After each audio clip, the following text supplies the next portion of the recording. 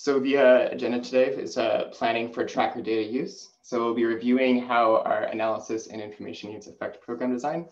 Um, as mentioned earlier, my name is Brian O'Donnell. I'm an implementation advisor for UIO. And I also advise the Norwegian Institute of Public Health on some of their tracker implementations in Palestine and Bangladesh. Um, so the outline for today's session, um, uh, tying in with our questions from earlier on the Mentimeter that we just had, um, but we'll be talking a bit about how to um, build our tracker system so that they support better data use across the board. And often this means thinking quite early in the process of designing tracker about what the most important indicators are that we want as outputs from the tracker model, right? The, if the purpose of the tracker is to get more granular and routine data about uh, the individual level conditions of certain uh, patients or your, uh, your healthcare system, then you want to make sure that you're gathering all of the data that you actually need for that purpose at the very start of your design process. Um, next, we'll be thinking about the, um, the process for gathering your, gathering your indicator requirements. So who to involve and what to review with that process. And then we have a few use cases before wrapping up that we'll explore as discussed earlier. Um, Ghana will discuss um, their workshops for designing indicators across multiple programs of the Ghana Health Services. Um, Sri Lanka will talk a bit about um, COVID-19 analytics requirements and how they work those into the system design that we promote from HISP Sri Lanka. And then I'll, um, I'll wrap up with some research that was done with the MCH um, tracker in uh, West Bank, Palestine, comparing aggregate and tracker data um, a couple years ago and maybe discussing some of the, the reasons why that might be there. So um, yesterday and uh, in the initial day, we brought this concept of the tracker maturity model or the, the tracker house. And um, you can see here that there's a number of different things that, um, uh, you'll remember from Mike's presentation, there are a number of different topics that should be considered um, when you're designing a tracker. But the focus of today's sessions will really be about the linkage between the very peak of the pyramid or data use with the design and configuration process. Um, we won't go into so much of the technical details about um, how to build a program indicator or how to build a dashboard, but really coming up with the requirements that you need um, to actually build uh, dashboards or uh, reports that suit your use case. So these are just a few of the key considerations, not meant to be fully comprehensive. And the reason why we're, at, why we're mentioning this now is because um, often we see that um, there are upstream and downstream considerations for your tracker because you're intending to make this a sustained part of your health information systems in your country. So when you're first designing the, the your, uh, your tracker system, you may um, have requirements in mind that you won't have when you actually start consuming those data and using them to make decisions. So initially, people are very eager to jump into the design process uh, start prototyping and then deploying it and scaling as rapidly as possible. But then when they come to the actual consumption of those data for their uh, research analyses or their um, data use workshops or their um, their monthly their monthly meetings and the, for an integrated health system like their provincial integrated meetings, then they say, wait, why don't why can't we make DHIS2 indicators about something else that's also very important? Or um, and there might be some certain design considerations with your tracker system that you need to have in mind at the very beginning of this process. That's why we are, um, that's why we are bringing this workshop into the very beginning of this academy. Um, so what makes tracker analytics different? I think this is a very um, important step that um, people um, might not consider when they're first designing a system um, because how tracker um, produces figures is very different from what you may be used to with uh, traditional data sets and aggregate reporting. So first, when we talk about a patient's longitudinal record, this might be considered a new dimension for data analysis, or there are, there are many more variables that you could consider uh, with your analysis when you are um, uh, when you have a tracker system, right? So the patient's longitudinal record consists of the track entity instance, an enrollment, and events, right? And each one of those different, um, different items has an event date associated with it, maybe also a due date, it has an org unit where it took place, and then it has a number of different data elements as well. And we can think about how we group those events and enrollments and tracked entity instances, uh, tracked entity instances together um, and how it fits within this traditional model that we have of the organization unit, the period, and the data dimension. So there's a number of different options that we have, but it also means that you really need to think early about what your indicators actually mean in the tracker sense. Um, secondly, and I think this part is um, just as often overlooked, is that you, you have far more end users uh, of a tracker system because you're entering individual level data. So you have many more people who are actually entering the data. This also means that you'll have more demands for data analysis. You'll have other end users who may want different types of data from Tracker than you would be traditionally used to when you were um, doing an aggregate report from a facility. And so that also means that this is a golden opportunity to really reimagine data use across the program, right? Because you have more stakeholders that are involved in sort of uh, crafting and designing this process. You also have more opportunities to really ask some very detailed uh, questions that you might leave to a survey or some sort of ex post research analysis on a aggregate data set. And so um, it's really the, a, good time when you're first designing a tracker system to step back and think about what each indicator that you're collecting means in clear terms, um, determine who is going to use it and when, and then what decisions would really be made based on that indicator. Right? So you can actually take a sort of step back before you go diving into your tracker system. We won't go into this um, so much today. It's more of a, um, a configuration academy topic, but there are certainly design considerations that you could confer with um, experts in this academy or on the COP or your, um, your own team about the feasibility of certain indicators within tracker design. Um, we'll just briefly touch on those topics today. Um, but the very last process of this is you'll, after you have a list of all the different uh, indicators that you want to collect, is that you'll actually be prioritizing which indicators you want to see in your own implementation. And then this will, um, in turn, inform the design process and the uh, scale and rollout of your tracker. So um, in the first day, um, Mike mentioned some of the key, uh, key concepts for the tracker data model, which I touched on earlier. You have your tracked entity instances or your enrollments. You have events, and then each one of these discrete events has a date, organization unit, program stage, and a TEI that are associated with it. If you group all of these together, then you have um, aggregate data, right? You have counts of the number of tracked entity instances, you have a count of the number of events, number of discrete org units that were involved. We might also consider uh, relationships to be a part of those uh, aggregates that you could include. Um, and so there's a lot that you can really work with here. And the problem that a lot of people have is thinking, okay, how do I get from this tracker data model into some of the advanced analyses that I've seen um, other countries have um, and some use cases, or some of these um, digital data packages that UIO um, releases.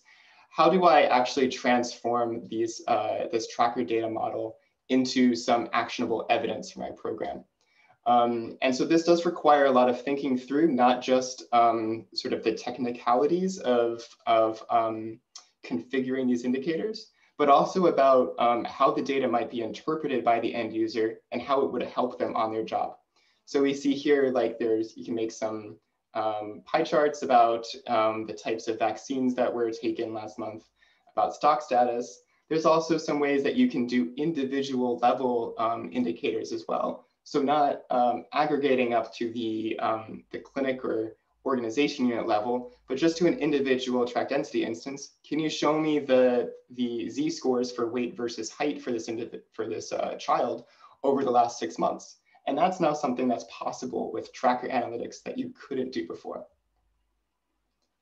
So uh, really the first step in uh, thinking about your requirements assessment for tracker indicators is thinking about who is requesting the tracker data and where is the demand, right? And then thinking about who is actually going to be using the system in their day-to-day -day work and what are their key incentives.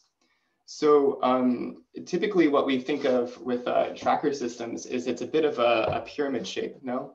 So at the very top of the pyramid, you'll have your, um, your IT staff who are actually, or your Ministry of Health staff, who are actually designing the system, coming up with program indicators, annual reports, um, people who are designing program rules, et cetera.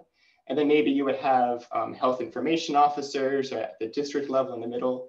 But especially with Tracker, you, are talking about thousands of end users potentially. I know in some cases in Bangladesh and Nigeria, we've had tens of thousands of people submitting event data, right? And so that means that you'll have a lot of people who are really invested in the system.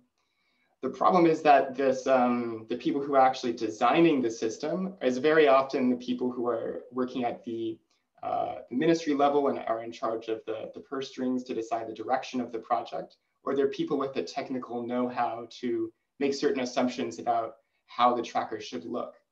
And sometimes this, this mismatch can cause problems because either the, the workflow doesn't match how the end users would typically think a tracker should work, or the data outputs are not actually matching what they need um, to make decisions at a local level.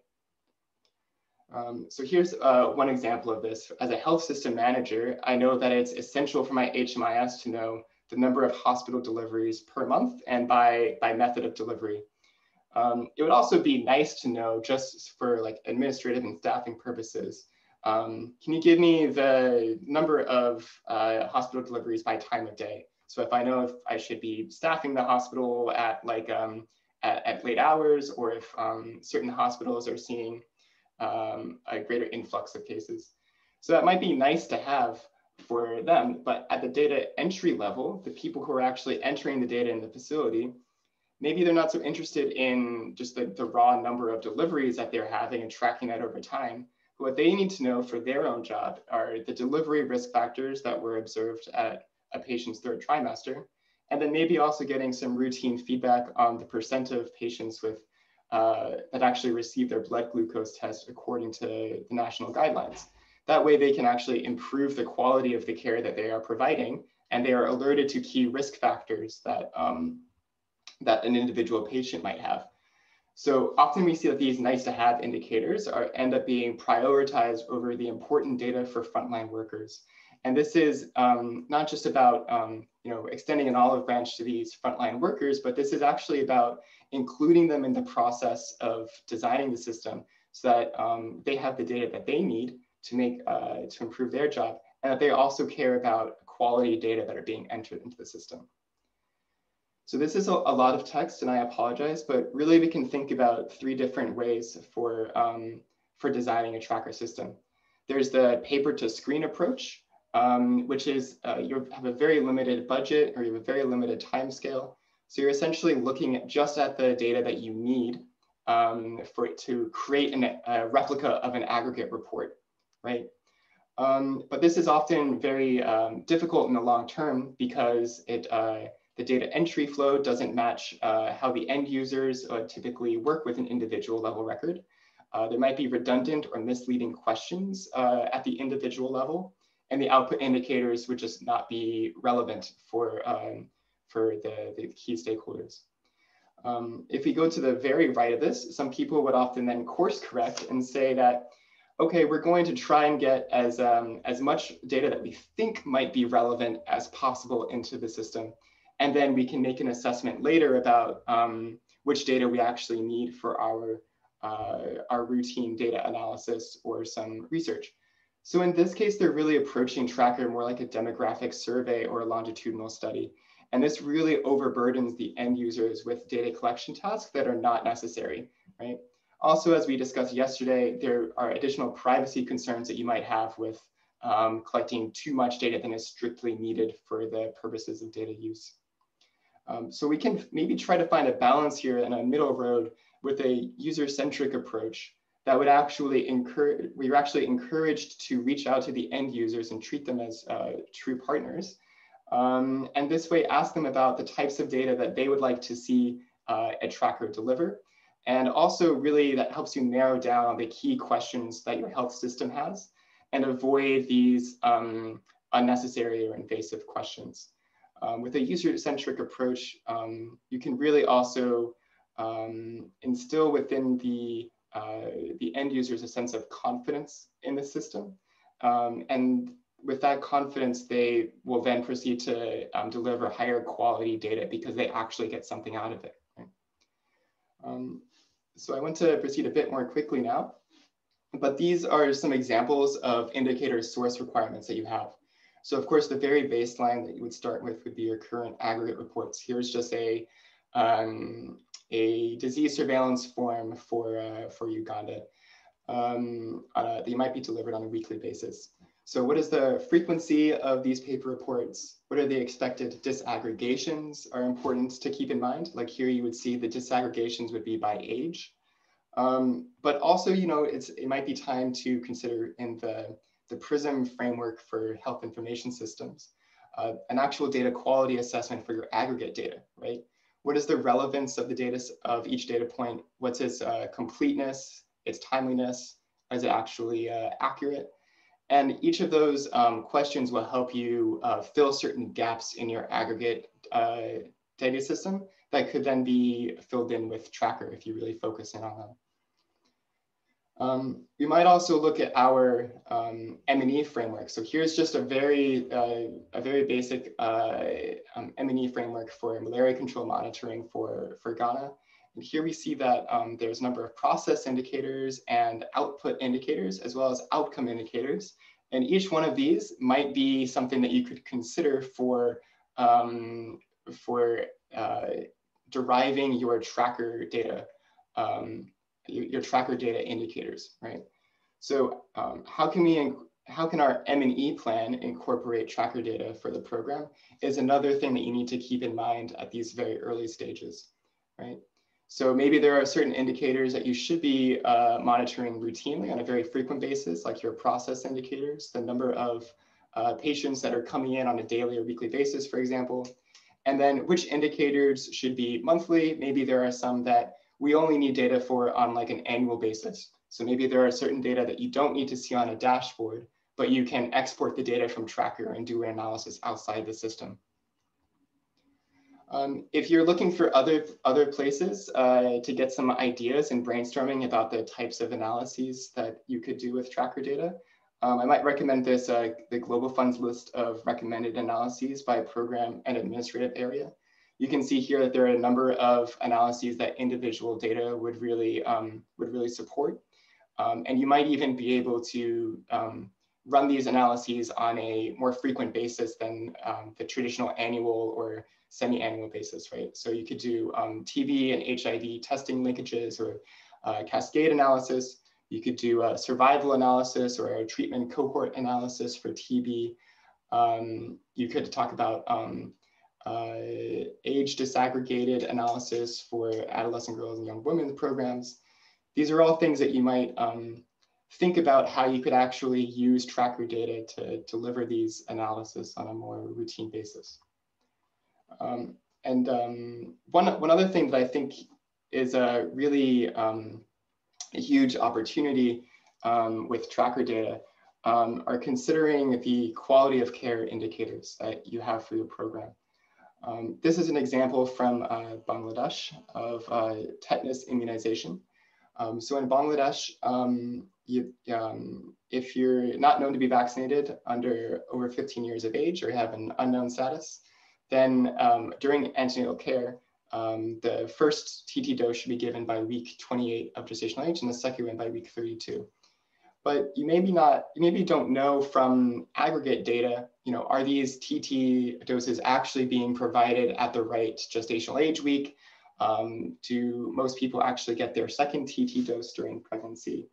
Um, but with this ability to look at the individual patient's record, you now have this opportunity to really look at quality of care indicators that at every visit um, a patient has, they're receiving all of the care that national guidelines say they should be receiving at that visit.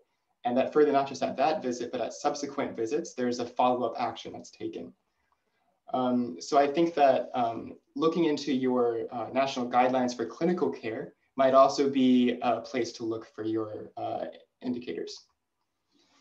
Um, so um, here's like our um, our last um, sort of brainstorming or thinking exercise before we before we break into the case studies. But you know, when you're sitting with the program staff and you start brainstorming about what data might be possible beyond uh, aggregate, there are a number of different types of analyses that, that could be done. And here's just a few sample indicators that you can start thinking about. Um, and nutrition, for example, you could think about um, the percent change for an individual infant in, in their weight since the previous visit to know um, in an Android device if this, um, if this uh, infant has gained weight. Um, for an HIV system, you could use program indicators to do a cohort analysis of ART attrition. So then you're actually finding all patients who started ART, say 12 months ago and analyzing them about their current status, you know, last month, right? Um, if an MCH program, you could um, provide data directly to uh, the CHWs about the number of um, postpartum care visits that they provided less than 14 days after delivery. So you can see if they're actually getting um, this um, frequent follow-up just after delivery. Um, with uh, malaria, and this is a, a, use case for the relationships model of tracker, but you could actually see the number of uh, new cases that were linked per index case. And you can do some analysis um, around that with some sort of uh, clustering at the very local level. Um, and then TB, and by the way, today's quote of the day is TB case surveillance. Um, I'll, we'll, we'll, keep this up for the next slide too, in case you miss it. But um, for TB, you might consider the median days between the clinic visit and the lab result by test type, right? So you might actually do a time to event analysis between uh, the routine clinical visit and then the lab result that um, should happen after that clinical visit. Right? So you can actually see the performance of the lab in responding to a request for lab results. Um, so I have a, a, short video here about um, this, this workshop that um, Ghana Health Services did a, a, couple years ago. And I really think it, it, illustrates, um, it illustrates quite well how you can get many different program staff together in a room to discuss the different uh, ways that Tracker might support their systems. So here you see HIV programs, TB programs, MCH, all sort of sitting around their DHIS2 uh, systems and trying to understand how program indicators work um, so that they can uh, start incorporating them into their, uh, their monthly uh, analysis plans. Um, and one quote um, from, I think this might have been uh, Felix afterwards, who was the um, he was a Ghana Health Services uh, leading this workshop, but that it's very important to ensure program officers give their support to the e-tracker system. And it is more important that they are fully involved at the beginning of the program and continue the training provided for them, right? So he's uh, acknowledging that it's very important to get your program officers and the end users of your system involved with this uh, tracker system at very, very early stages so that they understand uh, what data are possible to gather with tracker and what types of indicators they want. Um, so with that, I think we have um, Oswald on the line who might um, be able to uh, share a screen and tell. Hi. So good morning. My name is Oswald. Uh, work with the Ghana Health Service and a member of Ghana's Institute Technical Team. So just uh, a continuation of what uh, Brian has been presenting on the need to build capacity uh, across board as far as uh, implementation of Tracker is concerned. Uh, for you to be successful, it's not just enough to deploy Tracker and build the indicators, but you need the buy-in of all the stakeholders as I had mentioned in an earlier presentation when we started this academy. And one of the key uh, stakeholders as far as tracker implementation is concerned has to do with the program staff. That is technical people, M&E officers who are working at the program level, your TB program, HIV, malaria, and all the technical areas of your healthcare system. So it's critical for them to understand what you do and what uh, type of indicators that you generate on tracker. And so uh, in Ghana, in the latter part of 2019 as part of our efforts to make sure that we are at the same level with the programs for them to understand how the program indicators are generated and what uh, outputs they can get from our tracker implementation. It was uh, critical to have uh, a capacity building session between uh, the, the institute technical team as well as the program uh, officers. Now, the very key things we needed to achieve. One was to be able to allow us build that working relationship and our trust levels from a technical point of view, view and also from the program area. Even though uh, a number of us from the technical team are from a public health background, it is always critical in developing program indicators to have these program officers who are really the people who define how the program will achieve its objectives, understand exactly what you are implementing, then they can make uh, proper use of it. They uh, become part and parcel of the uh, development of the indicators and they are able to relate better with it. So one of the key things we needed to uh, uh, achieve with that session was to build that relationship between us. And we were riding on the back of uh, a TB surveillance tool we were developing and use that as an opportunity and use that as a test case to, uh, while we build the tools, we were also building capacity alongside for the program officers in that regard. And also to have a common understanding on which data elements and which indicators to create. The, to create. The uh, reality is that uh, even though Tracker may have the ability and the capacity for you to create multiple indicators and data elements, uh, it is critical for efficiency to uh, really create what is needed. And you can only establish that when you have this engagement with the program officers who uh, do the M&E stuff and go to the field and interact with service providers and all that. And then we also uh, use the session to build some program rules for the TB tracker program, which we were due to start implementing the following year. That was in 2020. Yeah. Now, uh, there were three key things we did during this capacity building session. The first one we did was to review the program rules and indicator concept for everybody to understand what goes into the program rules, which uh, in essence helps you to structure how your tracker program will flow so that uh, at each point in time, based on uh, data that is being entered on the system, certain uh, data elements that are not applicable get hidden or those that becomes necessary get shown.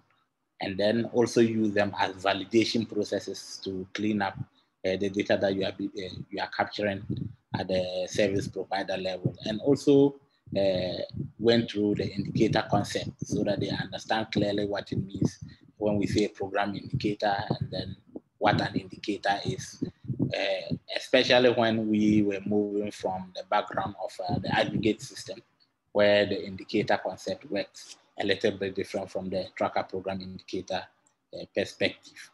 Then we also went through using custom functions in the rules and uh, the program indicator creation as well. Then we had a conceptual discussion on the program rule and indicator evaluation and the priority setting so that uh, you are able to determine which program rule should take precedence over the other. Sometimes it is also critical not to overburden the system with a lot of program rules because that has an impact on performance. And so you have to uh, take that into consideration. So it's critical to have these program officers help you to really screen up the program rules that you are writing so that, uh, especially when you uh, are implementing tracker and you have to deploy to facilities using the Android app, the more program rules you have in there, sometimes you have a bit of a lag and a slow uh, rendering of the Android app. So it's critical to only add program rules that are really necessary and not everything that is in there. Now, uh, so for program rules, uh, as I've indicated, they simply provide uh, a way for producing dynamic behaviors in, the res in response to how users input data onto the system, either for tracker or for event capture. Uh, as far as DHIS is concerned, the uh, two uh, systems, is critical for us to introduce these program to structure the system. Another critical thing that it does is to allow you to create and control how the user interface in the tracker behaves as far as uh, events and data tracker capture is concerned. And also during data entry, the rule expressions are able to be evaluated each time the user uh, interface is displayed and each time a data element is changed. Then we talked of the program indicators, which allow us to create uh, values based on the data elements or attributes. Remember that the tracker system is a transactional uh, uh, system that virtually captures just attributes and data elements of each client. So program indicators essentially helps us to be able to generate aggregate values from these individual transactional data that are inputted during service provision. And essentially we can then uh, uh, build that as indicators and if we so desire, we can uh, transmit that into data sets and eventually uh, get aggregate reporting system. And for us, that is the key thing as far as a tracker deployment is concerned. It then reduces and helps you achieve the overall aim, aim of not getting so many errors with regards to collation of data and then data entry. Because once you are able to have very good program indicators, you are able to convert them into data and put them on data sets. So as transactional data are captured directly, the aggregate data to is being produced and it becomes a lot more efficient. So basically those were the things we went through, went through quite a number of examples. And by the time we finished, it was a week long uh, uh, session. By the time we finished, with the help of the program officers, we had created almost all the program indicators that we needed as far as the TB surveillance system was concerned. And for us, it was uh, successful in the sense that this time around, it wasn't just the technical team that was creating these program indicators. You also had the program officers understanding what went into the program indicators and helping in creating them so that if we're defining logics in these uh, program indicators that did not meet the objectives of the program, our attention was drawn and then together we uh, discuss and structure in a manner that is uh, more efficient for us to be able to deliver the program indicators. So basically this was what we did. And uh, since then it has helped us as far as our implementation of uh, Tracker in Ghana is concerned. Thank you.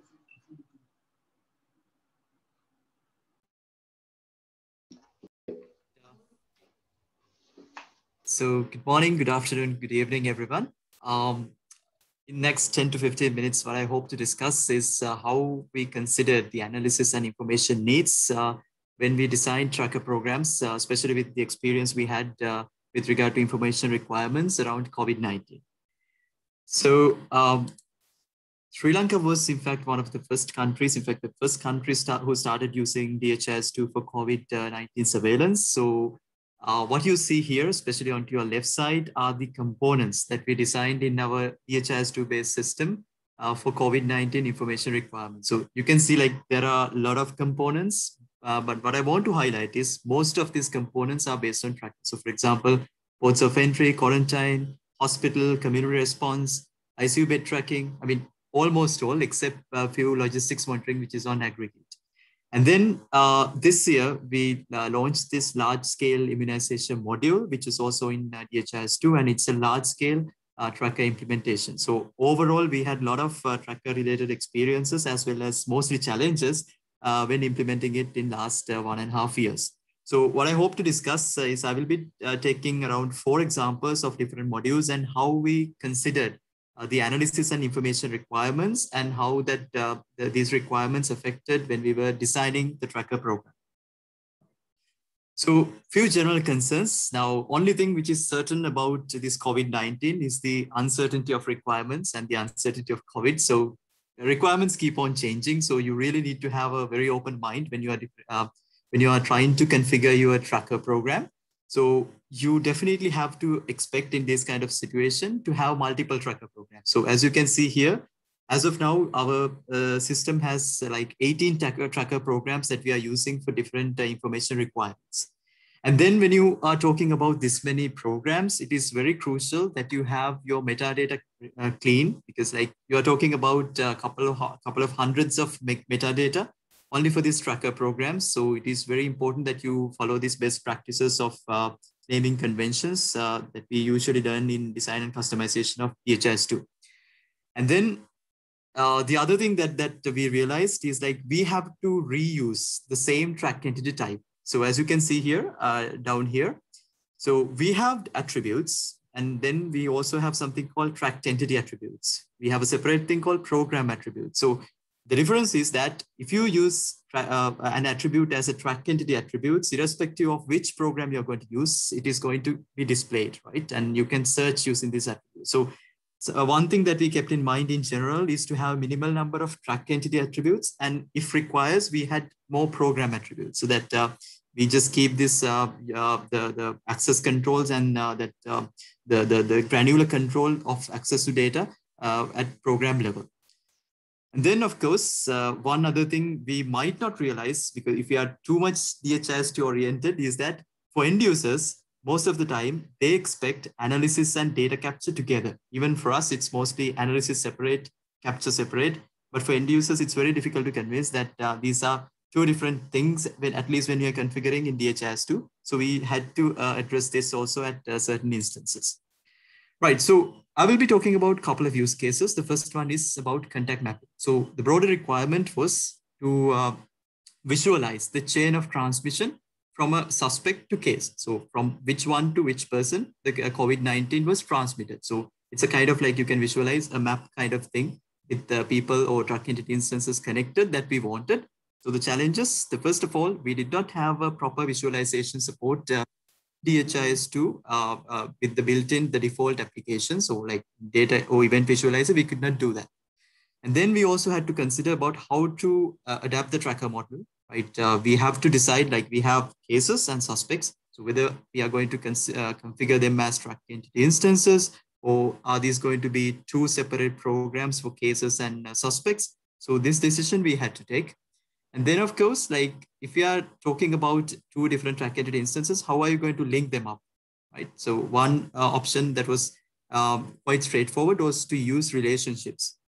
And then if that is the case, are we using it in a single direction or bi-direction? How are we going to do it? And, and then of course, if you use relationships, how are you going to visualize uh, with existing DHIS2 tools that are available?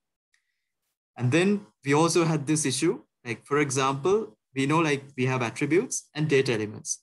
But in case if you are going to filter, right, in a, in a, in a front page list or something, are you going to use them as attributes or data elements? If it is data elements, then uh, the filtering part is going to be a bit tricky. So these are the main issues that we had. And we finally decided that uh, the best way we can achieve the flexibility was to design a custom application, right? So this is the initial version of the application that we designed based on, based on these concepts that we had in mind. So this, this kind of visualize from which uh, track entity instance to which uh, one it was transmitted, right? And we also try to demarcate whether it's gender uh, based on the domain requirements. So they wanted to uh, have in this uh, visualization itself to identify whether it's a male or female. Uh, and of course, whether it's a case or suspect, right? So those were, I mean, those are the basic requirements we initially had.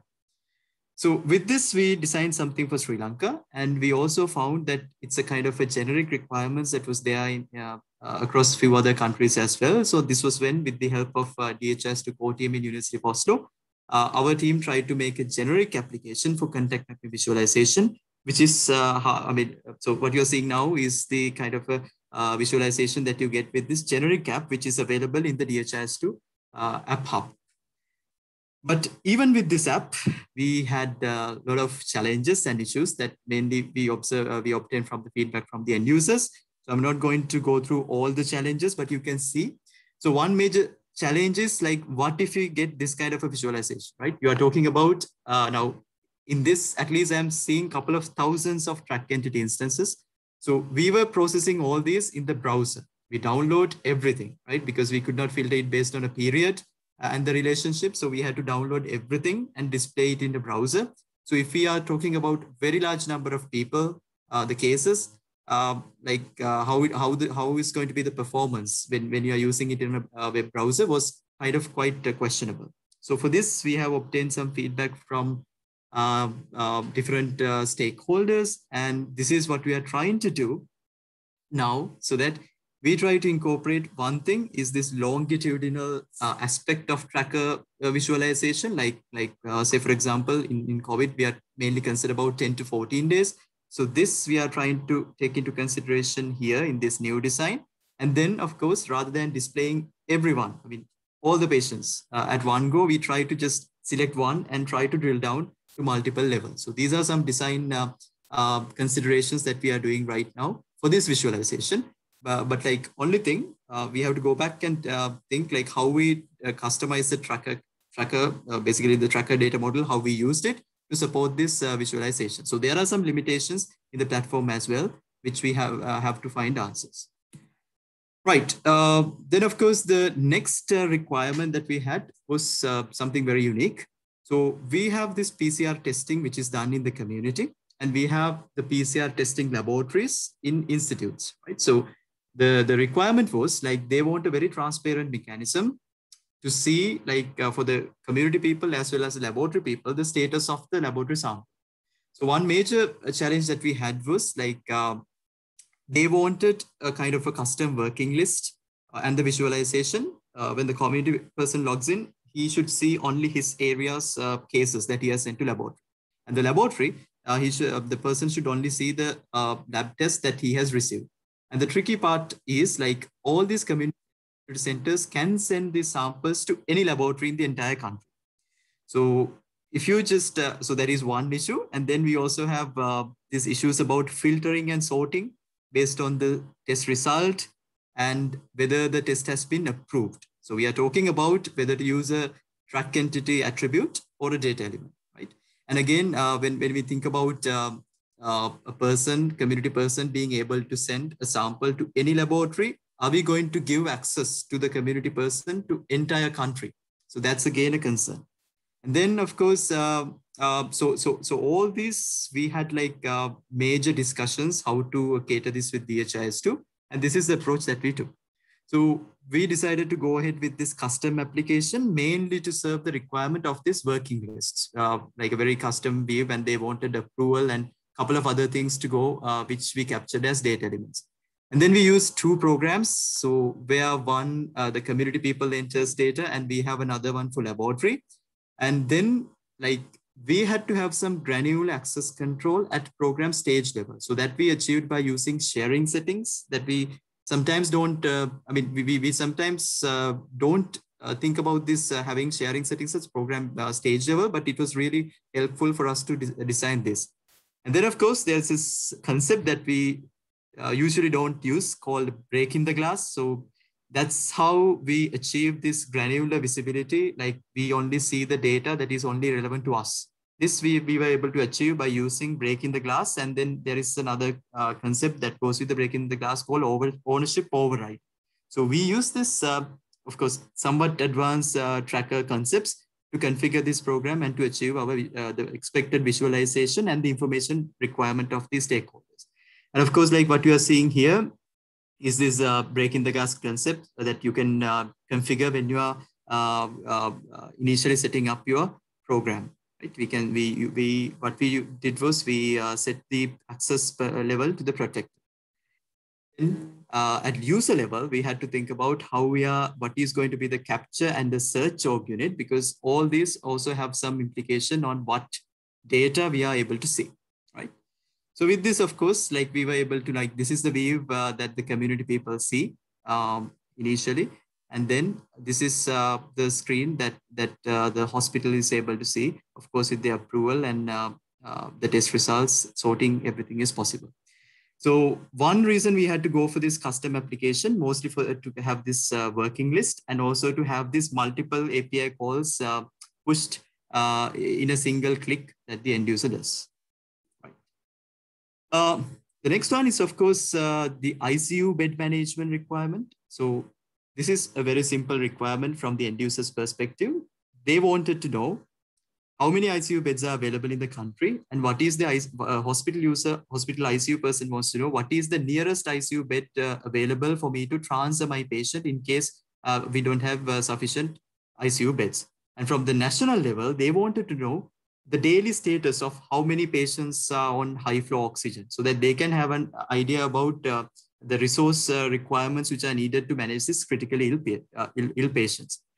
One major concern we had from the feedback when we were doing the requirement analysis was that the ICU people, it was very difficult to uh, do a proper training for them. So they wanted something very, very basic without uh, much confusion in the user interface, right? And then of course, they wanted this separate analytics for ICU beds and the daily status of the patients. So to do that again, mainly because they wanted this simple interface, we had to go for a custom application.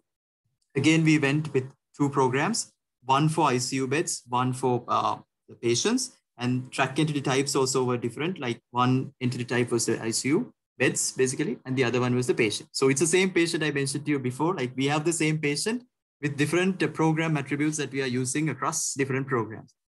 So of course, we went for incremental development. Initially, we just made a, a small basic application to display whether the ICU bed is occupied, reserved, uh, or, or, or uh, is available.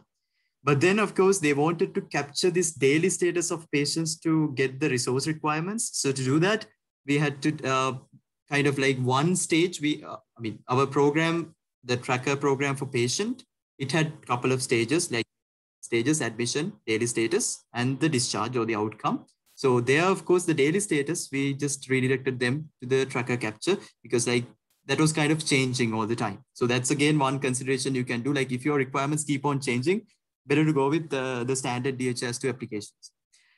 And then, of course, they had this advanced uh, program indicators that, that had to be created. For example, we have an enrollment date by default when capturing program indicators um, and the analysis when, when we are configuring. So for example, in some of these, we had to configure uh, based on this uh, the concept called this period boundaries, where we have we can I mean, rather than going with the uh, enrollment date, we can use the event date. Say, for example, if we have an ICU patient who was admitted or enrolled a couple of days back, but the indicator that we want to know is based on uh, today's situation. Like, so that's the latest event of a particular program stage. We can use this event date, uh, event date uh, uh, instead of the enrollment date and have the enrollment analytics.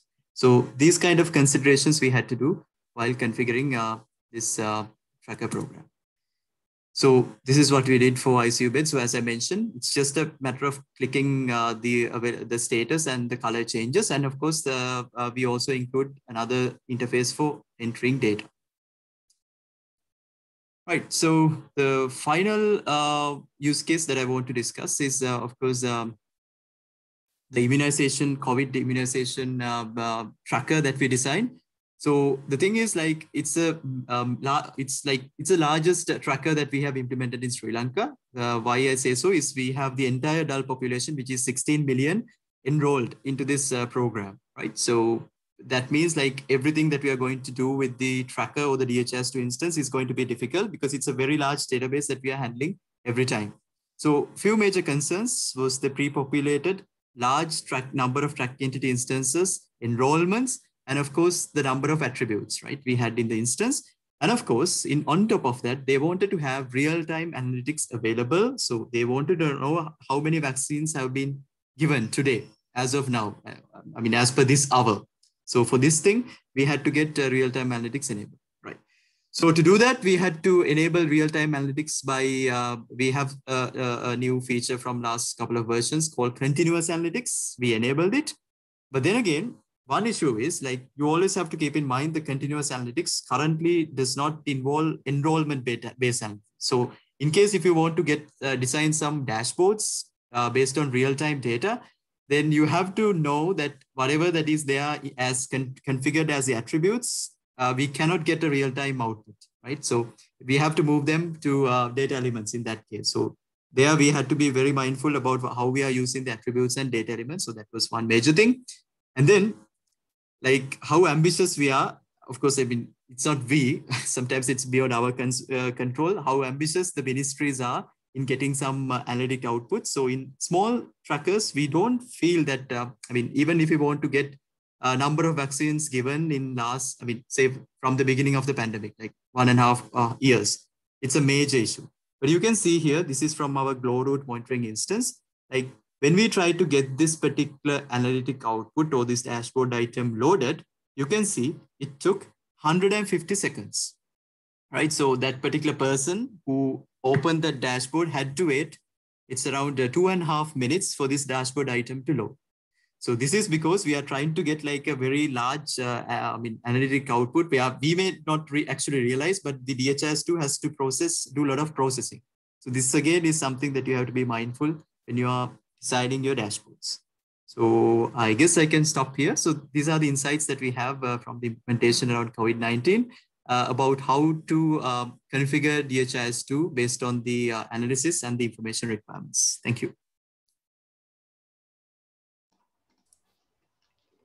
Great. Uh, thanks so much, uh, Pramod, for this uh, very detailed and insightful presentation. I am aware that we uh, uh screen here. So we have a, uh, a few other uh, questions to go through just to wrap up our discussion on analytics. And by the way, if you have any questions for Pramod on his presentation, please just leave them in the Academy Slack. Um, the, so about this question of um, comparing your tracker analytics and your aggregate data, um, this was actually a research question for the Palestinian National Institute of Public Health when they deployed their antenatal care and MCH e-registry, which was um, a point of care tracker system. So um, all public health facilities in West Bank um, were, and we're using DHIS2 tracker for I think about the last uh, five years um, to enter in uh, pregnancy uh, profile data. Um, and then a research question at, compared this with the national HMIS, and I think it's um, quite instructive for future tracker rollouts because what you actually find is that the, the data on things like uh, maternal conditions or timely attendance, um, these were very different in the e-registry tracker system than in the routine health information systems. Um, and so it, as Kim mentioned, this is a paradigm shift, right? But you might also have some type of uh, discontinuity with your, uh, your regular data from aggregate reports. And it may cause a little bit of pause or cause for concern or maybe some um, distrusting of the, the tracker data.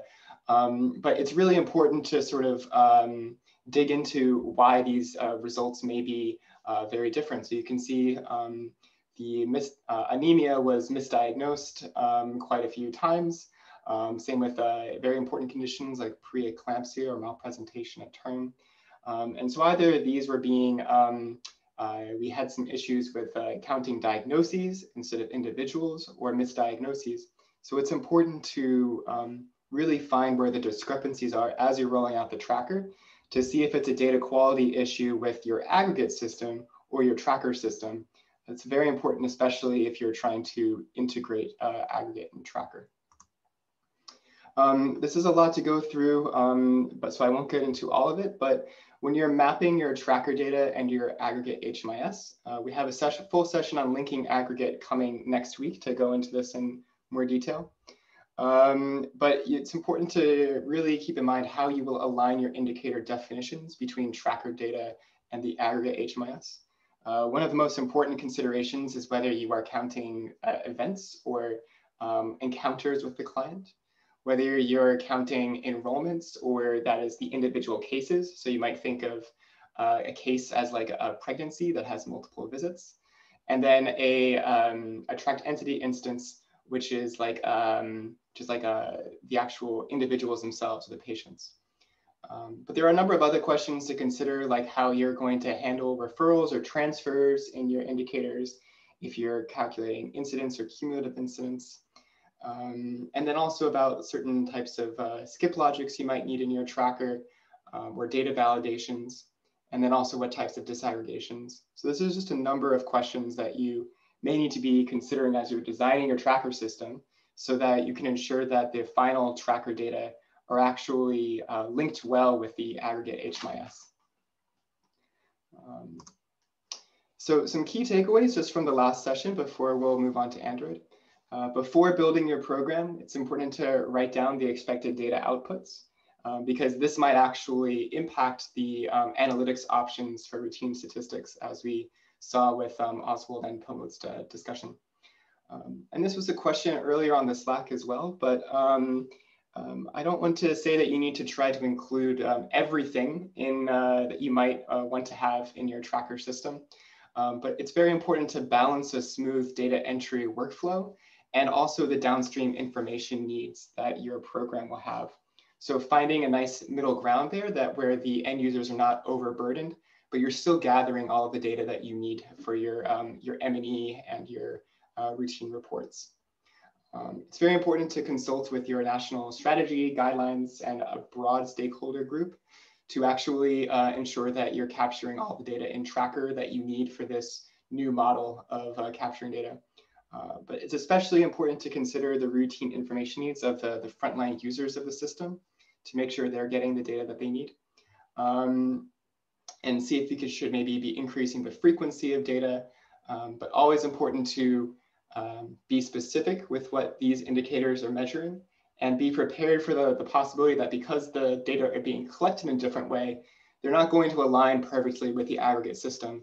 So that might be a risk for your um, for confidence in the system down the road of your tracker.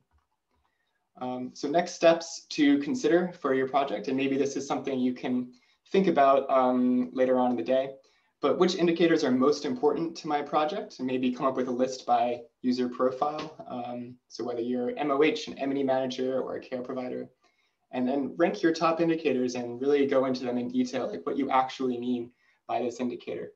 Um, and then uh, think about how can Tracker deliver some key performance metrics to the, uh, the end users or frontline workers. Maybe a, um, a dashboard might be too detailed, but a a message or a routine meeting with uh, the care providers would be another way to do it. Um, and when you're thinking about what key decisions will be made based on your data, this is the very first part of that project planning template that Anna showed earlier. Um, so think about what is the objective, uh, what systems will this replace, and who is asking for the system. And I really think that the key decisions that will be made based on tracker data should be at the forefront of uh, those questions as well so that you can make sure that you're planning uh, to use the indicators that are produced by your tracker. Um, and with that, I think that was all that I had. Um, and we can move now to um, Android and Jaime.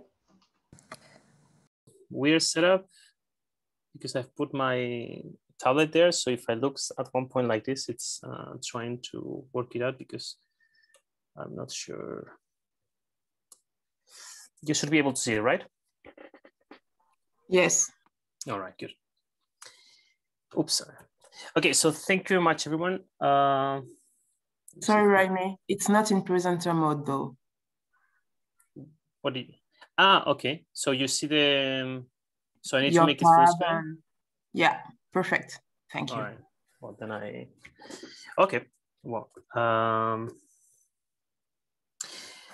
all right, so thank you everyone for being here. I am gonna be presenting Android for DHIS2 and the subtitle or the title of this session could be DHIS2 goes mobile and offline. And as you can see, it says part one because we have decided to split this session in two of them. One is gonna be taking place now for an hour and the other one has been scheduled for Monday. Uh, I think there's a lot of content. Uh, there are some questions that might rise up during this session that I think I'll be answering in the second one. So if that's the case, I might push the questions for that session. And I will try to prioritize the questions for this session. And we will have this last uh, 10 minutes for questions. So please uh, wait until then. I usually like interacting much more between you guys and me, but well, given the global pandemic, this is the way it is. Just a quick introduction of myself. I'm Jaime. Some of you know me already from other academies. Some of you know me from the community. I hope one day we can meet in person, hopefully soon. But I'm part of the Android team in Oslo. And well, I'm happy to see you all guys here. So the sessions have been divided into two. As said, session one, session two. In this one, what I'm going to try to do is present what is the application I will try to talk briefly about some use cases. Then I will go a bit more deeply onto the application, what it can do for you, what uh, are the main features, let's say. And then I, once I have explained this, I will try to demonstrate or I will try to trick, trigger something in your minds for you to understand why would you like to use Android in a tracker implementation, trying to provide some information. And then briefly, we will cover some considerations from both parts on the server side and on the Android. Again, there's going to be a lot of information. Uh, do not hesitate to raise to rise up questions on Slack that I'm not watching now, but I will later on, or on the community. And then the last 10, 20, 15 minutes we need to see, depending on how, how we allocate the time, we will have um, Pramod again, talking about some of their um, Android um, issues or considerations they took into when, when deploying uh, Android in, in some places in Sri Lanka. And if we have the time, we might do a little demo or game that I will present. So let's get started. Um, quickly, what is the Android application? As you can see here, I've tried to separate diagonally and you will see in the upper left corner, it says UIO devs. So basically is because what I wanted you to try to understand is that the Android application that you see down there at the bottom, it's part of the UIO, but does not mean that all the applications are part of the UIO. So the way DHIS2 works is we have a server that provides an API, what we can interact with. And this, the main that the Android uh, SDK is doing. So Android SDK talks to the DHIS2 API, and then the DHIS2 application is built on top of this DHIS2 Android SDK. Just for you to know that some community applications might be developed and they can interact directly with the DHIS2 API, or maybe they could even use the DHIS2 Android SDK. This is something that is explained uh, deeply during the Developers Academy. And I'm just putting it here in case there are developers in the room. I was very um, gladly surprised last year in Ghana when someone from the audience was a developer and we, we got to know a little bit um, more into each other and he explained me some stuff that he has developed. Uh, and just mention it here because in case you are um, curious about this, please do not hesitate to reach on Slack or community and we can explain a bit further. But basically here we are today to talk about this, the DHIS2 Android application that interacts uh, with the server. So I don't know uh, if we would be live, I would ask a question. I will ask you to raise the hand, but I cannot see any of you now. But I would like to know who of you already knows about Android, the Android application, uh, I hope most of you do. If you do not, don't worry. It's uh, I'm gonna be trying to cover pretty much everything now, uh, briefly. But I would advise you to go to the website there, DHIS2 Android, um, and then you or you go to features in the main site and the mobile data entry, because there is a video that covers a lot. There is a different uh, features covered by, by release version. So I think it's pretty well explained. I'm gonna be talking about it, but uh, anyway, if you need to share this later with someone, uh, please go to the website. I think it's quite complete and might be very useful for you to understand what's, what's going on with Android. Uh, last thing before getting deeper into the application, where to get the application. I, well, some of you have been interacting already with the server. Probably a system administrator has set up the server for you. But now if you want to, I'm sorry, this is popping up. I don't know if I can stop it. Uh, but well. Um, so where can you get the application? Uh, there are several ways to get it. The last one it's your own store. This, I'm not gonna be talking about it now. I will cover in the next session, but basically you could get the application going to Google Play. If you look up for DHIS2 or DHIS2 Capture, you will see the application. You might still see some legacy applications, or you can see some applications developed by other HISP or by other people, as I was explained before. Uh, but basically, this is the official one. And you can also get it from GitHub. GitHub is the repository where we code the application. It's fully open source, as you know, the same as the, as the backend. And here I just wanted to mention that if you would go to GitHub, you will find three versions. Production, which is the same one that goes gets published on the Google Play. Training and SMS. Uh, training, I'm putting there in bold because I wanted to let you know that in case we do the demo, you're gonna be seeing my DHIS2 training application. The training application allows you to do some stuff that you cannot do with the, with the production one. And for me, it's very useful because it allows me to, to troubleshoot much better. So at one point, if you're gonna be implemented Android, right, you will be installing the training when you are doing all the tests, and then you will pass to the production. And the SMS is still listed here because we have some, some issues with, um, with Google in the sense that the application, because it can be used to send SMSs that we'll see later on, uh, you might need to publish in a different way. So nothing, just focus on production and training mainly. Uh, quickly, the features we have. Uh, this has changed since I was uh, having this lecture last session, more lecture, last week in Ghana. Uh, but I'm happy to announce that now this is kind of what the application could look like. It might be the perfect companion for your projects because it can allow you to, you to enter aggregate data entry. It has full tracker support and it has recently uh, been added with local TI analytics.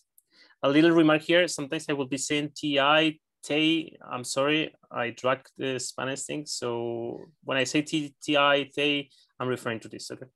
In case I say it because I think it will pop up during the, during the session. Um, but because we're in the Tracker Academy, we're gonna be focusing mainly on this. Okay, if there are questions about the other two, we can discuss uh, in the other channels. So let me show you the application. I'm not gonna have the live, we will do maybe at the end, but I have been taking some screenshots where I cover mainly the, um, the main features that could be useful for your tracker projects. So when you would open up the application that you have downloaded either for Google Play, as I've explained before, or from GitHub, this is the, on the left side, you will see the main screen where you will have to provide the URL of the server, uh, your username and your password. Uh, just for you to know that the URL could be used with a QR code, we will see at the very end. Uh, and once you log in, what you will see is this thing on the right.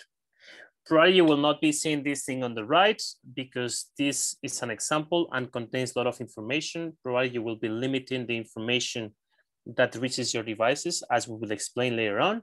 But uh, I needed to do something like this where you can see a lot of things because what I wanted to prove is that what we try to do from Android is we know we are aware that we are talking about a small device and we need to put as much information as possible in a nice visual way so if we could go through every little detail in this application, in this screen, I think it tells us a lot in a nice way. So for example, you can see that for each programs, we can have icons and colors, as you see pointing on the first one, um, that we could see what data types are we talking about. For example, here uh, we have events in green. So here we have the antenatal care visit, which is an event program. Uh, for aggregate, we will be having the purplish one. So we can see that it says data sets. And the one that we are interested most in is tracker program, so TI.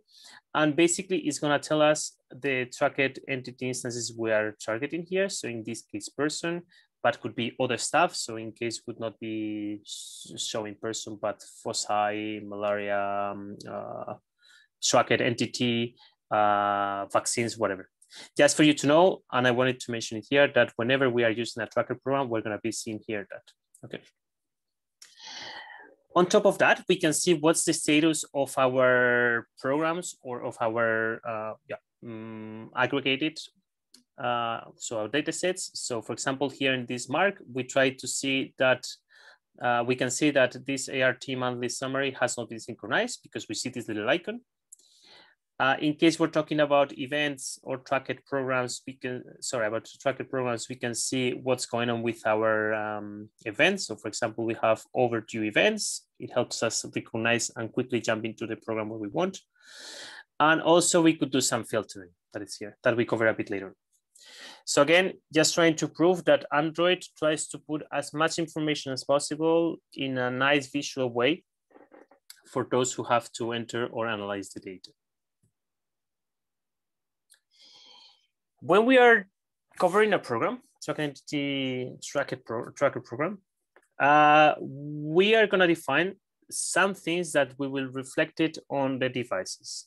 So I'm gonna try to make a difference between the left side and the right side, and I will explain why later on. Uh, I don't have my, my speaker notes.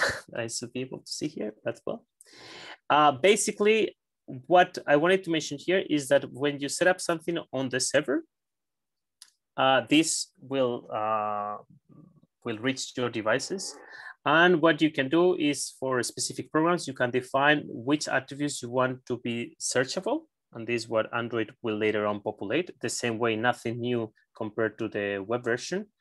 But what you have is displaying list. And here, because we have a limited amount of space that we could use, uh, what Android is gonna do is gonna take the first three attributes and will display them in line here. So in this list, whenever you perform a search, you will see those here.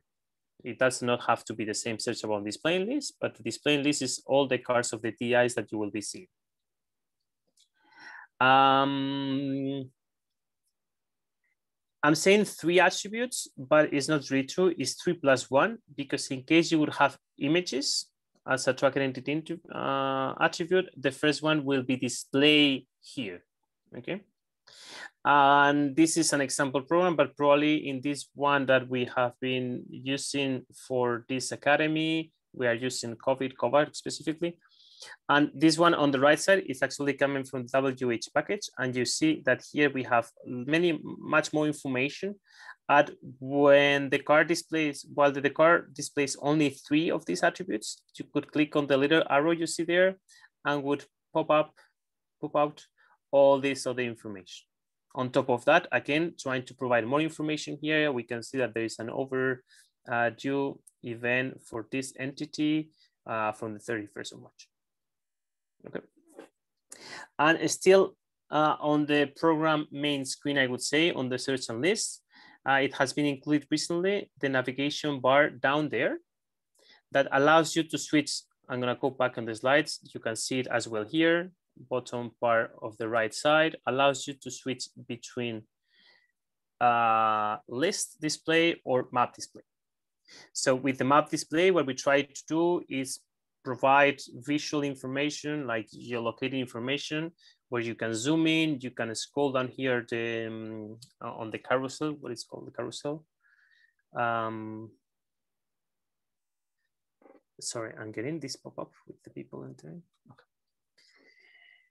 Um, and then on top of that, on the maps, what you could also do is define layers, the same ways that you can do, I think, in the in the server side, where you could have some different layers to, to map or to, to pin on the map different things like TI, the enrollment, or the data. So it's still there on the main screen of the program without entering. When you perform a search, not gonna cover all of them, but just to mention that there is a huge possibility of filtering and sorting. So again, we are trying to help up to help the person inputting or, or taking out information from the system with all this filtering that allows him or her to search, for example, with dates that were added yesterday or in the specific time in a specific or units, um, that the sync status is one of these ones. For example, imagine you have had errors while working on the field and you want to filter now to correct them or the same for SMS in case you have been syncing by SMS that we cover that later, don't worry.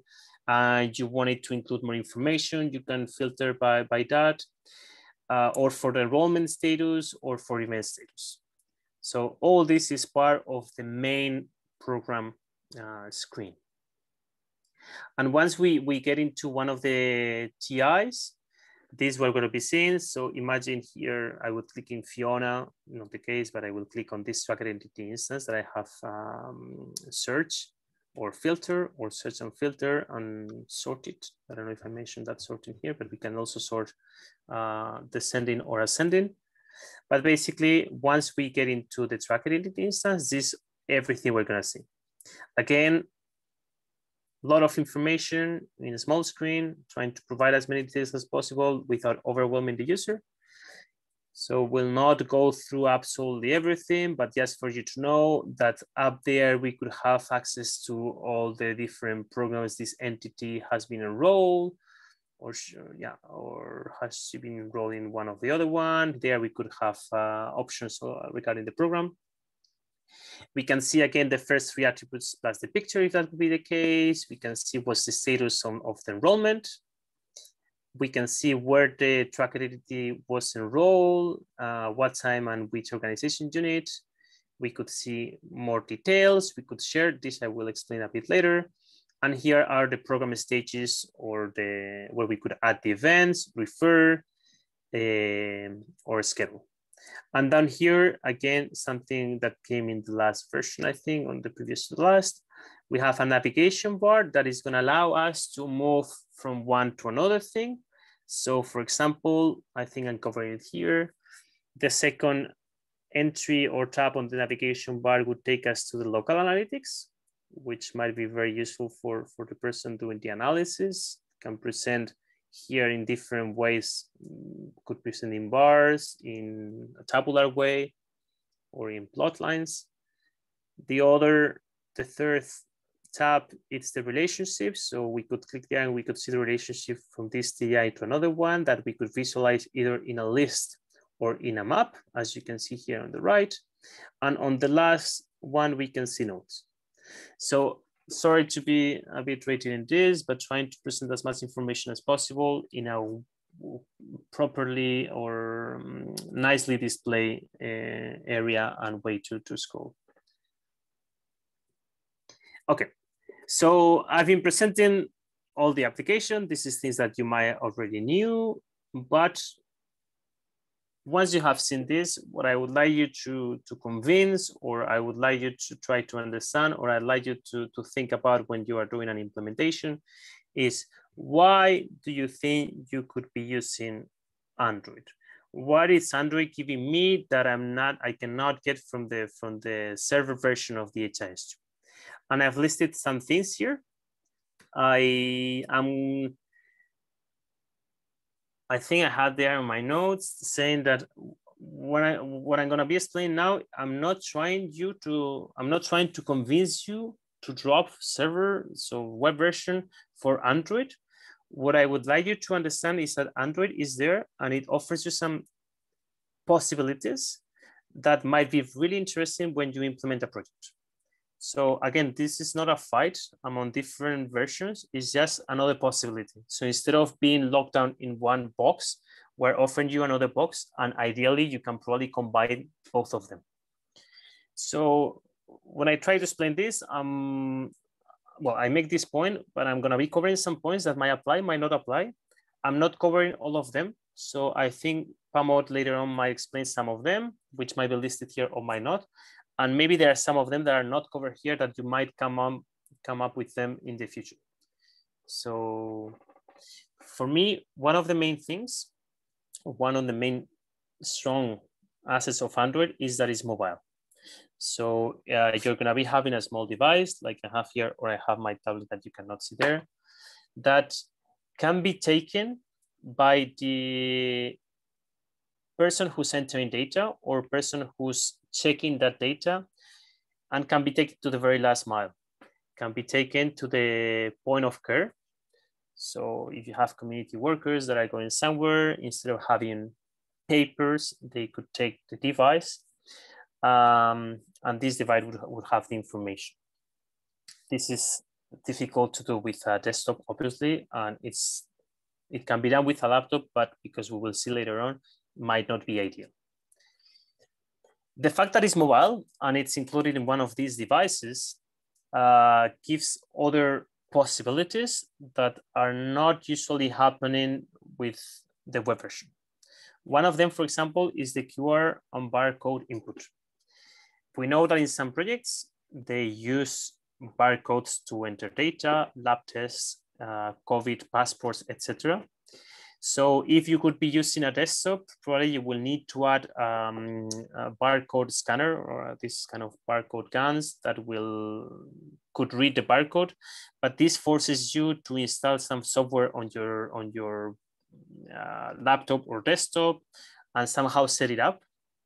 While the fact that most of the devices, if not all of them, include a camera, allows you to uh, just click on one data element or attribute that has been defined as barcode or QR could make your camera to pop out. You could read as it says here, uh, and this field will be auto-populated. This works for barcodes and QR, and we know it's been already used in some projects.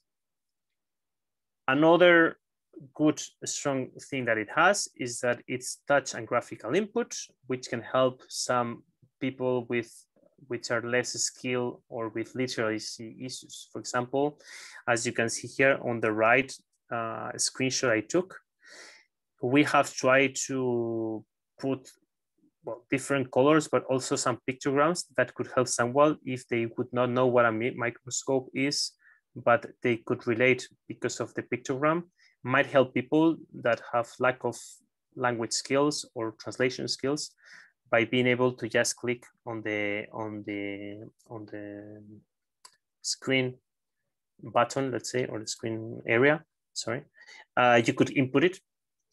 So this is something that it's really useful. Also, people are really used to use phones, so we believe it's it's quite easy to enter.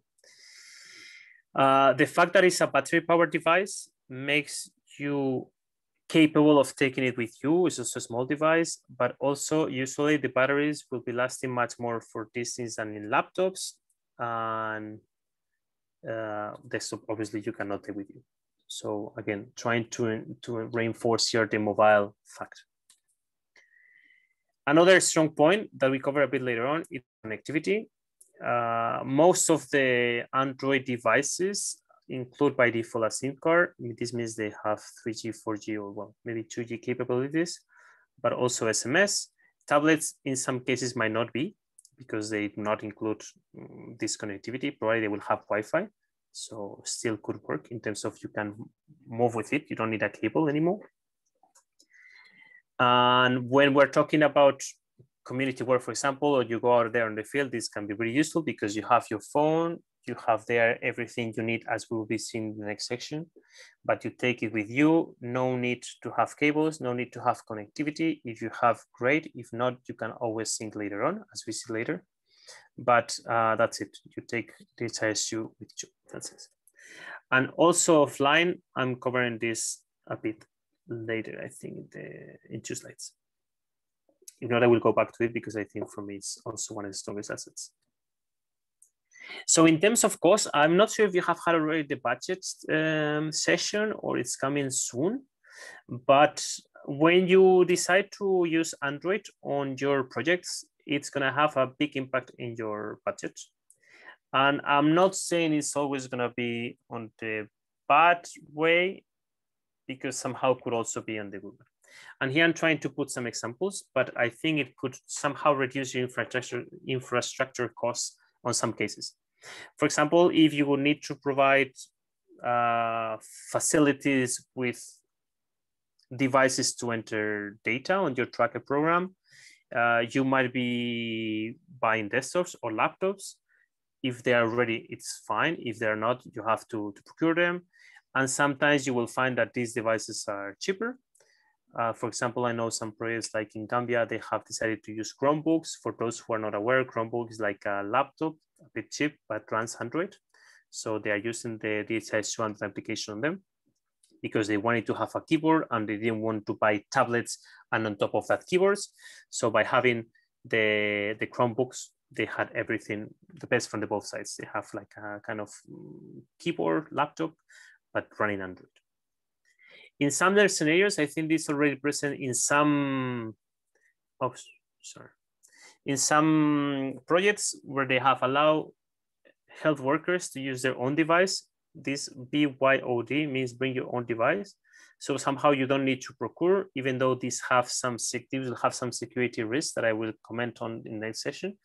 But you could be using devices that most of us already have. I think everyone almost nowadays has a smartphone. So we could be using uh, the Android application to access the DHIS2 on their on their device. They will just need to be facilitated the username and password, and they could be using it.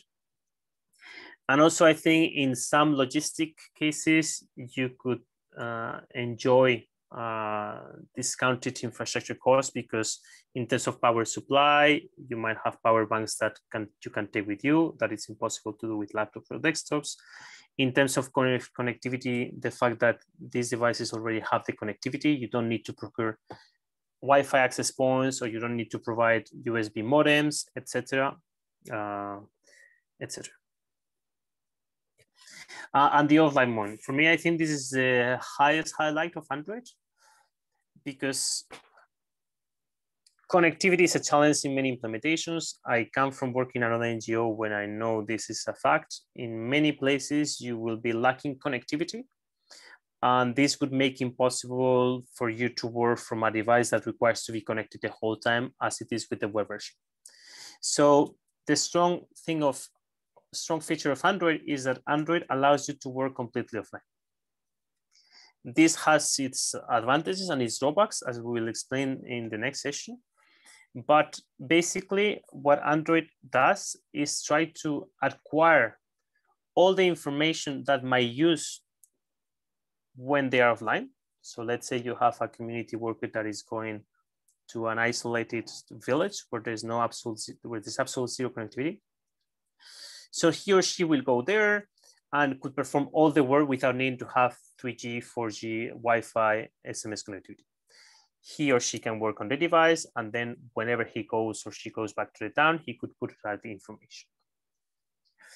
Uh, that's the reason I'm putting temporary connectivity or fully offline, because also if at one point you will be implementing a tracker project where there is absolutely zero connectivity, you could say, okay, the person could work for a month or two months, whatever period is required, and then could come back to a place where they have synchronization, or even fully offline in the sense that the application has capabilities to transfer information, even though it's not ideal by QR codes. But you could also find that situation where an isolated phone could somehow sync the server via another phone. And also SMS sync, I know that some places cannot have or do not have 3G or 4G. So Android application still would allow you to synchronize via SMS. I know that some Ministry of Health in Africa has have reached an agreement with uh, telecom operators for them to be able to sync things free of charge, SMS, sorry, free of charge. So I think it's also something that it's very interesting, even though SMS when using aggregate will not send as many SMSs. And when you're using tracker, maybe for the synchronization of a tracker entity instance, you might need four to up to eight SMSs. So I think it's not ideal, but I think it's worth also mentioning that there is also a possibility.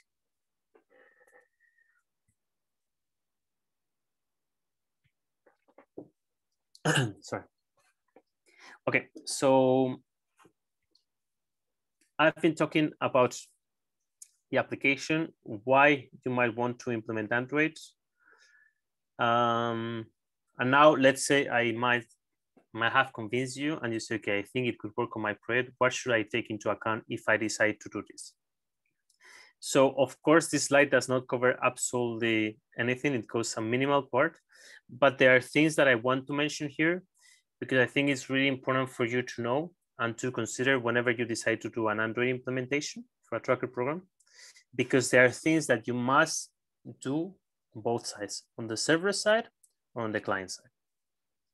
So if I go to the to the server side, the one of the main things you should consider, well, first of all, you should know that whenever you implement an Android project, you need to make changes on your on your on your server.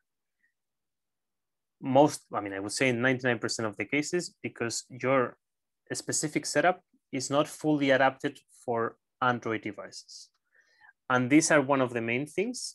Again, there are more, but for example, the sharing settings, I've been telling you that the way Android works is the device tries to download all the information that it might use in the future when being offline. So the device will take and will tell the server, okay, give me everything I might use in the later uh, data entry stage. If you have not set this properly for the web version, does not matter because when you connect with your with your computer, you work, but you don't pre-cache all this information. With Android is the opposite. Android takes everything. So if you would have not set this properly, the device is going to download a lot of information that will not be used. And this, you could see a problem from maybe the security perspective, but also it's a problem from resources in the sense that you're going to be downloading a lot of information. So this affects your internet connectivity, but also could affect your server in the sense that if you have one device downloading a lot of information, could be okay. If you have thousands of devices requesting all this information continuously to the server, you might kill the server somehow. This is something that we explain in the next session, which is called the syncing strategy, and it's something you have to think of. So the sharing settings need to be usefully adapted from web version to Android version. Ideally, when you reach the Android version, uh, will also work for web and will be more optimized in that sense. For the visual configuration, is the same. If you remember, I was showing you on the right side at one point a microscope, the RD test, etc. Uh, this is things you need to work on. Probably this will also trigger if you have people that are not very well educated and they might need to have um, a specific training. You could work with colors, you could work with different pictograms. So all this is not there by default. It's something you need to work on. I am not sure this is available on web, if I'm not mistaken. Uh, so this is something that you need to build on top of what you have. Everything is there, but you can reach this beautiful configuration in a linear entry or a matrix entry with colors, pictograms, etc., which I think might be really useful, again, for people who might not be uh, very literate or they might have some translation skills. So by using colors and pictograms, you could really improve the data quality. So this is something we have we achieve through the visual configuration, and it's something you need to work. If we talk about auto-generated values, I know many, many programs, tracker programs, they use unique identifiers, which are generated automatically by the system. And here I'm gonna try to explain explain somehow for you to understand because some people have already found it a bit surprising. But if we roll back like five minutes when I was trying to explain you that Androids are gonna download everything they need to perform their tasks in the future. As an example, imagine that you have decided to have a unique identifier for a set of patients that go from the zero to the 1000 and you're gonna have 10 workers collecting this information. So whenever you could set up your program, you could expect to have from zero to the patient 1000, somehow in line. So first time, first patient you enter is the 001, the data one, uh, 002, etc. to the, to the 1000 uh, because Android devices cannot know how many patients you will be included uh, beforehand, what Android devices are gonna do, the application is gonna do, is gonna say, it's gonna tell the server, okay, give me a number of these identifiers that I might use or I might not use. So again, when we have 10 devices, so the first one is gonna request to the server 100, the second one another 100, etc., etc. This means that at one point I might have in the server because the first worker goes on the field and register 20 patients. So he's gonna register from the 0001 to the 0021. And then he synchronizes or synchronizes towards the server. And then the second page, the second worker is gonna register from the 100 to the 120. So at one point in my server, I could have these gaps. And this, I think it's important for you to know, not specifically this case, but just for you to understand how Android is working. Is Android pre-catches everything and then syncs to the server. And this can lead to this kind of gaps or discrepancies that you could not see in a web version only implementation, but it reaches with Android. So somehow might trigger different complexity when setting the system. I hope this was clear. Um, and then program rules, and I'm very sorry for this because it's one of recurrent topics in the community or in different support channels. Some people set program rules on their server, they work on the web version, and then they say it does not work on Android. I'm sorry to tell you it's absolutely true. It happens. And it is because uh, the web version and the Android version, they are using different program rule evaluators. And I know it, not, it should not be the case and we are working on it. And at one point they are gonna merge, so you will not have these discrepancies. But at the moment, at the current time, whenever you set up something on your server, might work in one thing, in one version, so web version, and might not work in Android. So this forces you to make uh, tests and tests and tests. Okay. On the client side, so we have been talking on the server, the things you would need to do on the server. Now, when you have decided to implement Android, the thing you need to do on the client side is that you need to make sure that devices you're gonna procure to your workers, they are complying with what we have called the device specifications that I have linked here, and I will link also afterwards. Uh, unfortunately, it is important, impossible for us to tell you this will work, this will not work, because it really, really depends on each implementation if your program is full of program rules, is full of pictograms, is full of a lot of information, you might need a more powerful device. And if your program is very simple, you might be able to do it with a very cheap or not so powerful device. This is the same way that for servers, I think there's another session talking about this. We give somehow guidelines, but it is impossible to tell this yes, this no. So what we usually recommend in that sense is that you could acquire a small set of devices, you test them, and once you're sure they do work as you expect, you will buy the rest of the devices. It can be challenging. It's also it also could be very bad that you decide to move to Android or to, to put into place Android, and then in the end the workers decide not to use them because they're very slow or because they don't work or because you have provided them with the small screens like this and what they need is to enter a lot of tests. So they wanted to have a keyboard, etc. So that's what I'm saying here, the type of devices. I think you need to understand your worker requirements for you to analyze and say, okay, now I have these device specifications. I have tested that it works with this device and I know that my workers need this, this, and this. So with these things into mind, you should be able to acquire the proper device. And again, we usually recommend start small and then scale up. Also for the bring your own device, what I mentioned before, at one point you might find yourself using or implementing projects where you do not have the time, as it might be for COVID, I think in some places, I think in, in Uganda, if I'm not mistaken, they told the users, please use your phone. So the, the workers were given a username and password and they could use their own device. So might not be ideal from many points of view, but somehow you could use them uh, for a quick deployment process. I know there has been a lot of information here. You might have grasped some of it, you might have not.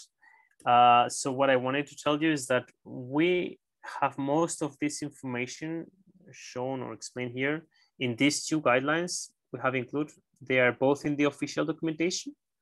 One is the configuration, which explains a bit better how to, what you should do, the changes on your server to, to achieve something on your devices. And the other one is the implementation guide. So I think both could be very helpful. You have the link there, but if you could go to doc.dhis2.org, you could also find them and I think, yeah, so that's all for this session. What we have uh, in the next one is gonna be this. So I will cover in all the things that I've been saying this, I will explain this, I will explain. It will be explained here. So now we are gonna have some Q&A, but I think because Pramod should be ready, I don't see the stream, I will check now. But I think what we could do now is have, instead of the Q&A, have Pramod, and then we can have the questions. Um, if he's not ready, we can take some questions. But just for you to know, if there are questions related to what I will be explaining on Monday, I will not answer them if you agree with me, because I think it makes no sense that I anticipate what is going to be coming. And if Pramod finishes before, oops, oh, yeah. So